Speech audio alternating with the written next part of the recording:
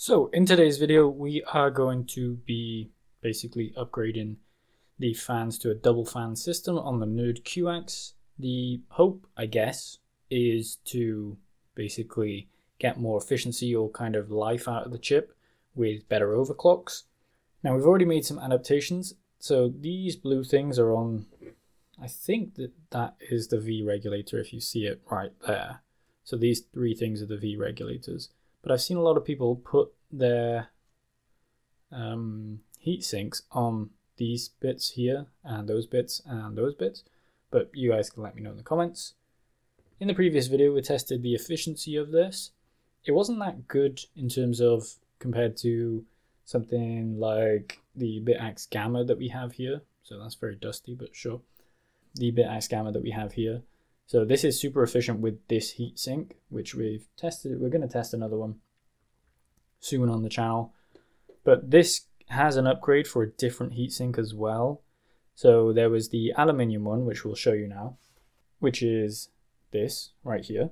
So you have that, and then this copper one that you see beneath it is a slightly better one, and we've done a video kind of comparing them, but you can see the thickness of the copper one is way better than the aluminium one. Also, I don't know if this is anodized. Nobody has kind of let me know in the comments. I did ask, but if you could let me know in the comments if this is anodized, like this is copper, just changed color. I don't have a clue what it's actually called. So there is a better heatsink out there for this, and there's a hydro version as well, which we discussed in the last video. But it also allows double fans. So this came along with this, which originally went on top of that, like there. And I just thought we can use the double fan system just to either cool down the voltage regulator for higher overclocks or cool down the chip for higher overclocks. So a lot of different placements that we can go with where we want to put it. We can either do a, a back fan one, which I don't think is kind of optimal, so facing this way. But there's not really anything, there's, that's for the other side of the voltage regulator, but that's the main heat point is right there. So I'm thinking it's going to go basically right there and blow air down. The only problem is that these heatsink, the fins on them, they run that way. So if we are blowing heat down, it's only going to hit the voltage regulator and this part of the heatsink as well. But it's a simple upgrade that we can try. We've done it with a lot of other miners as well out there. We've done it with the Gamma, I think, the Supra, and the Max version. We also tried this on the Canaan Avalon, which a lot of people commented saying that's going to do nothing, but it's just kind of trying to reverse engineer it a little bit.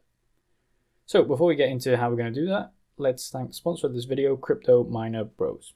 Since 2018, CryptoMinerBros.com has been the premier site for top tier crypto mining hardware, earning the trust of miners across the globe. The prices displayed on their site cover shipping and DDP straight to your doorstep, ensuring no unexpected costs at checkout. They deliver to over 100 countries and even provide lower invoicing options to help you cut down on customs fees. Payment is a breeze with options like direct bank transfer or cryptocurrencies including Bitcoin, USDT, or Ethereum. With over 250 ASIC options, they stock some of the channel's favorites like the BitAxe, the BitAxe Touch, and the Avalon Nano 3S. Join tens of thousands of happy customers who rely on CryptoMinerBros.com for dependable hardware fulfillment, clear pricing, and a top notch service. Check out CryptoMinerBros.com today, link in the description. So we are back with our trusty double fan splitter. Remember, somebody told me in the comments that PWM control, PWM, PMW, it doesn't really matter. But PWM control only spins at the speed that your other fan spins at. Does that make sense? So with the Noctua fan, that could only go up to, I think, 4,500 RPM. So the other fan would only spin up to that RPM. It basically copies the RPM from here and puts it onto here. Now the reasoning for that is because it doesn't have the control right there on the second splitter. So this is going to be the main splitter that goes into there, that fan. And then the extra splitter is going to go into this fan that you see here like that. So That's the 4 1, and then this is the 4 1 left. So we just take the fan out of here. Sorry, this is a not a professional way to do it. I wish there was something that could grab fans that are kind of stuck in there. That's a bit of a design flaw, I guess. Okay, finally got it off of there. I think I might have actually pulled one of the pins out if we look down there. I'm not sure. But we can always replace it with the other fan. It doesn't really matter. Also, question for anyone in the comments if they want to let me know. What exactly does that other one do? Because we've tried plugging it into that one and that does nothing. So if anyone wants to let me know in the comments what the other one above it does, then please let me know. Unless, you know, because I was thinking, if we just plug the other one into there, that's going to give us two fan controls. But it doesn't seem that way. So maybe it's for another higher powered fan or something like that, but there is two slots there, so you should be able to plug in two fans like that. However, when we've tested it, it's never really worked. But that goes into there. So down into there. Just make sure that's actually plugged in.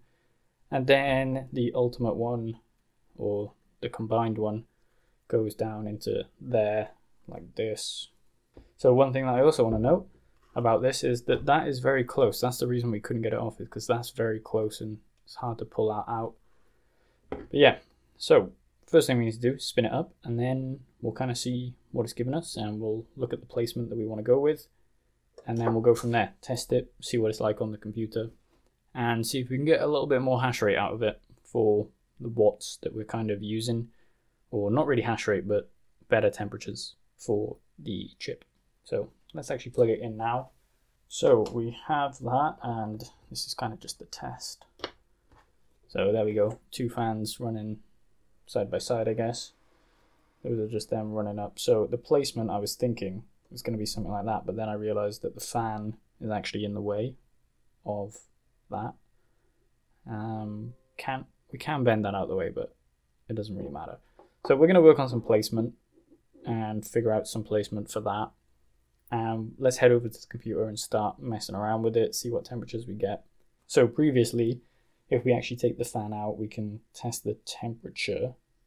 So we could unplug this right here, test the temperature, plug it back in, and then we'll see what the temperature drop is. Mainly, it's probably going to be on the VR and not on the chip because this heatsink below is very efficient.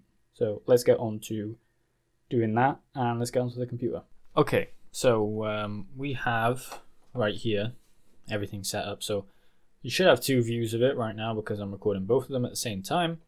And this is the view that we have of the Nerd QX. I'm just going to move this across a little bit, hopefully, to get that there. So we're going to test some different orientations right now. Um, let's actually stop spinning for a second then. Don't know why. Oh. I don't know why, but this does not spin if I put it like that. You can see it turns off. But I put it like that and it turns back on. That is very weird. Maybe there's a loose connection within the, the fans, but we're just going to have to kind of trick it to turn on. So the main thing that we want is to see kind of how the VR temperatures react and mainly what I can see. So we're going to take the fan away. That's the main thing that we're going to do. We're going to take the fan away, just place it down somewhere else. And we're going to have a look at the ASIC chip temperatures and also the VR temperature that we're seeing right here. So currently we are sitting at 47.4 and 63.4 or 63.5 in terms of the temperatures. So because those temperatures are kind of like our baseline, we want to see how far this is actually going to reduce the temperatures if we had it kind of in its own place. So I'm just now thinking that because the fan turns off if you don't have it like this, so I'm going to do a test. So if we put it vertical, is it going to turn off now? Weirdly enough, when whenever I put it down, it turns off. Is that part of the design? I don't really know. That's a strange thing. I've never seen that happen before where you put a fan down and it turns off. So if anyone can let me know why that is happening, that would be great. Maybe there's a magnet in there that turns it off. So to actually do this setup, we'd need to put it like here. And we need to make sure that it stays on. So I just flick the screen then, so that's great. But let's, for example, say that the fan was there. Then what is the temperature drop from there? It looks to be, on the VR temperature at least, very good. Now, another thing that we could do is also not use this fan, but also use a smaller BitAxe fan. I would uh, recommend if we are going to actually try to cool down the chip, then we use this fan because it's way bigger. But even with the VR temperature, we can just use a small fan in there. I know you can't see it right now, but this is what we're working with. I'm just thinking now, if we actually tip this and put it on its out, put it on its side, then potentially we could get this fan to spin up through there like this. So let's just rest it there. Okay, let's just rest it there. Hello. There we go. So, chip temperature, as we're looking at it right now, 47.9. VR temperature is 61.4. VR temperature seems to be going down, but the chip temperature is actually going up because it's actually sitting on the bottom of this. So maybe if we just put it like that, why does it turn off? That's so annoying. There's got to be something wrong with this because that's turning off. Anyway, I'm going to resort to uh, option two, which is going to be plugging in the other one. So let's unplug this from here. So we've unplugged the fan. That's unplugged. And then we're going to use, I just realized that we can't use this because it's 5 volts, so there was no point unplugging that. So there has to be something in the fan. It definitely would work if we uh, could get it to actually run because I can already see on the computer the VR temperature is still dropping. Um, and it's coming back up now. But that would only be useful for actually overclocking it. Plus, I can't figure out why this keeps turning off. So if somebody can let me know in the comments why this keeps turning off, that would be great. Because I don't actually know why. Because this fan is at the same orientation, like that, face down.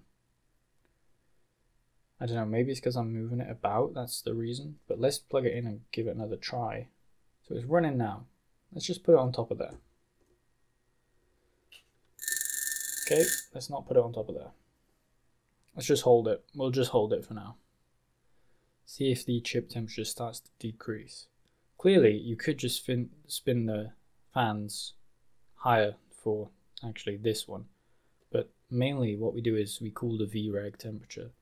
So I'd like to have it like that so it cools across the voltage regulator. Okay, so it seems to be just running now.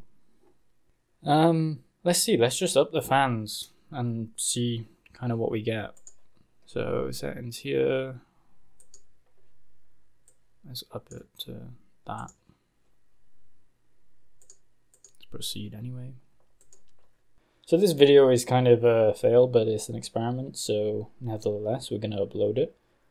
A lot of people are saying, like, why would you upload these sort of things? It's just kind of like back engineering, uh, giving you guys an insight of what I would personally do if we were looking at upgrading things like this. And it's content at the end of the day. Everyone wants to watch, you know, stuff about these type of miners and trying to get them to be the most efficient, better hash rate the double fan upgrade that we do on the BitAxes definitely is a good upgrade in terms of the voltage regulator because that is the real kind of cut off point in terms of overclocking. Your voltage regulator is going to get way hotter, way quicker before you even hit the ASIC chip temperature.